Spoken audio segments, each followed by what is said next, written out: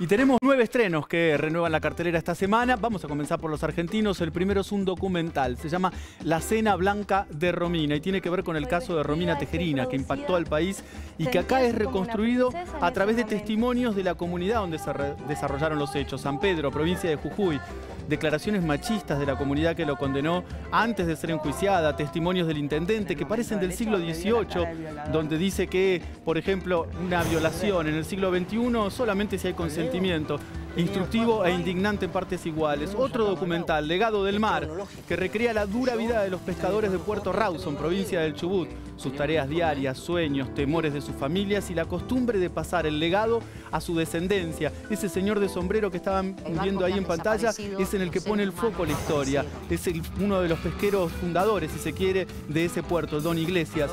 Solo se vive una vez, comedia de acción argentina con Peter Lanzani interpretando a un estafador que sin quererlo se cruza el camino de una banda de mafiosos regenteada por un temible Gerard Depardieu. A partir de ahí, y para escapar de los sicarios, se hace pasar por un rabino en una comunidad judía dirigida por Luis Brandoni, con Dariolo Pilato, Pablo Rago y mínimas apariciones de la China Suárez y Santiago Segura, mucha acción, explosiones, persecuciones, tiro de todo tipo, pero con un guion que yo encontré irregular y que carece de fluidez.